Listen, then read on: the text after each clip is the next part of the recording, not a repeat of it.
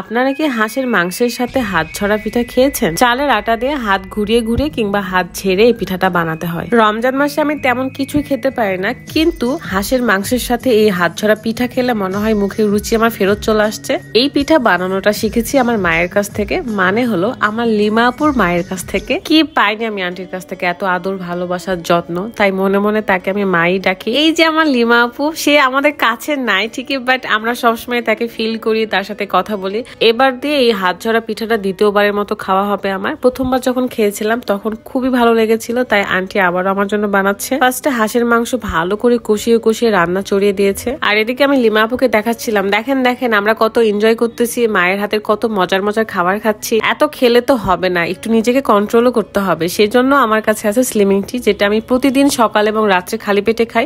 কিন্তু রোজার মধ্যে শুধু একবারই খেতে হয়, তো হাত ঝরা পিঠার আটার এই ডোটা বানাতে বানাতে চলেন, দেখে আসি এই সেই স্লিমিং টি যেটা খেলে আপনি আপনার শরীরের ওজন কমাতে পারবেন, সাথে শরীরের চর্বি কমাতে পারবেন। ইফতারিতে আমরা এতটাই তেলের খাবার খাই যে এই সময়টা আমাদের শরীরের ওজন বেড়ে যাওয়ার সম্ভাবনা সবচেয়ে বেশি থাকে। আর সেটাই হয়, আমার ক্ষেত্রেও তাই হয়। তো স্লিমিং টি থাকার কারণে আমি বেঁচে গেছি। ইফতারি শেষ করে রাতের বেলা আমি স্লিমিং টি খাই দেন পরে তো সেহেরি আবার খেতেই হবে। বানানোটা খুবই সহজ, ফুটন্ত এক কাপ গরম পানির মধ্যে এক চামচের মতো স্লিমিং টি দিয়ে তিন চার মিনিট ফুটিয়ে নিলে হয়ে যায় স্লিমিং টি ছেলে মেয়ে সবাই খেতে পারবেন, শুধু প্রেগনেন্ট আপুরা বাদ দিয়ে। বেবি হওয়ার এক মাস পর থেকে আবারও খেতে পারবেন যারা ঘরে বসে শুধুমাত্র এই চা খাওয়ার মাধ্যমে ওজন কমাতে চাচ্ছেন, তারা দেরি না করে এক্ষুনি ইউনিক কালেকশন ফেসবুক পেজ থেকে এই চাটা অর্ডার করে ফেলুন এবং আজকে থেকে খাওয়া শুরু করুন। একটাই নিয়ম, সেটা হলো চিনি কিংবা মিষ্টি জাতীয় খাবার থেকে একটু দূরে থাকতে হবে, তাহলে হান্ড্রেড পার্সেন্ট ফলাফল পাবেন। যদি আপনি একটা কৌটা কমপ্লিট করেন রেগুলার খেয়ে, তাহলে পাঁচ কেজি ওজন পর্যন্ত আপনি কমাইতে পারবেন। সো আর দেরি না ক্যাপশনে পেজটা মেনশন করা আছে চেক করে নেবেন এবং অর্ডার করে ফেলবেন। হালকা কুসুম গরম পানি দিয়ে আটাটা ভালো করে মিক্সড করে নেওয়া হয়েছে এবং গাঢ় একটা থিক তৈরি করা হয়েছে যাতে হাত দিয়ে এরকম ঘোরাইলে সুন্দর হয় আর কি। কলার পাতা ডাটা দিয়ে অয়েলটা ভালো করে কড়ায় মিক্সড করা হচ্ছিল। আর তারপরে এই হাতের জাদু। দেখতে কি ভালো লাগছে, খাইতে তো আরও মজা। যারা এই হাত ঝরা পিঠাটা খাননি, আমি বলব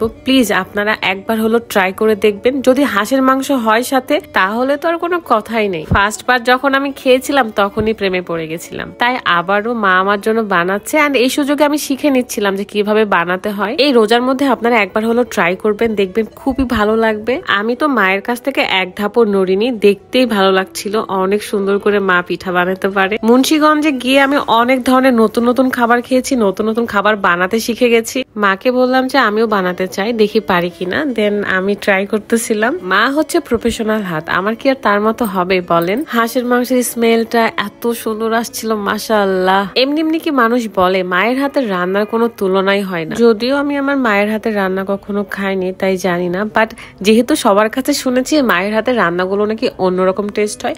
আর ঠিকই তাই, আমার লিমাপুর আম্মু, তার মানে আমার আম্মু, তো মায়ের হাতের রান্না অনেক টেস্টি আমি নতুন নতুন খাবার ট্রাই করেছি, খেয়েছি, আমার অনেক ভালো লাগছে, আর অনেক বেশি মিস করছি আমি। মাতব্বরি করে ট্রাই করতে গেছিলাম বাট আমি আসলে ওইরকম ভাবে মায়ের মতো হাত ঘোরাইতে পারতেছি না। দেন ওইরকম ভালো পিঠা হচ্ছে না। একটু বেশি ফোটা ফোটা হয়ে গেছে আর কি, পেঁচানো বাদ দিয়ে। তারপরে ভাবলাম যে আমি আরও একবার ট্রাই করে দেখে পারি। কিনা? আর ওই যে মিররে সিয়ামকে দেখা যাচ্ছে সিয়াম আমার ভিডিও করে দিচ্ছিল। হুম, পারছি না, মোটামুটি কিন্তু ভালোই পারছি। তারপরও মায়ের হাতের মতো আসলে হয় না। সিয়াম টু কি তোমাকে দেখা যাচ্ছে মিররে। যাই হোক, আমাদের পিঠা বানানো শেষ। এখন হচ্ছে খাওয়ার পালা। এই হাঁসের মাংসটা কখন আমি খাব এটার অপেক্ষা করতে করতে অস্থির হয়ে যাচ্ছিলাম আমি গোসল করে এসে ডাইনিং এ বসে বসে খাওয়ার জন্য। আর মা আমাকে বেড়ে দিচ্ছিল।